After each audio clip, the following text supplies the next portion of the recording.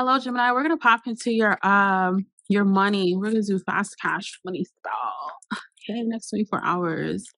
I feel like your energy is like a spell. I feel like I've said that before. So if anybody's wondering, do I have to do anything extra other than what your spirit team is telling you?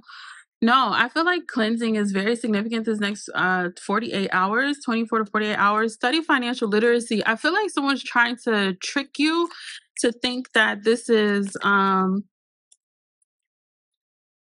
yeah, I feel like you are not only healing a money trauma, but I feel like you're breaking off like the uh, um I feel like there's levels to the money magic or this could be um uh generational like poverty or it's, it's almost as if like you're unlocking levels. So if anybody is wondering like should I stop? Spirit is like no. Oh my gosh, no. Make a business plan. Seven figure solopreneur, unexpected money,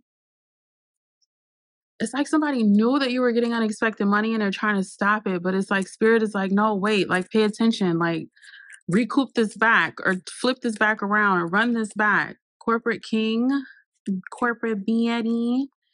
Okay, generational wealth in the making, Gemini.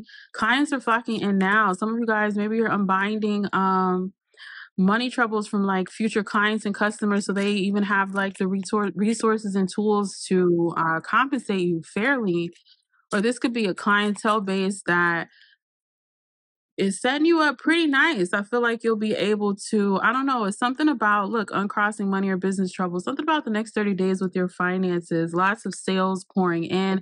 I definitely see financial freedom for you. Yeah, it's almost like, I don't know. There's something very, very uh optic about your energy. Okay, stick with that.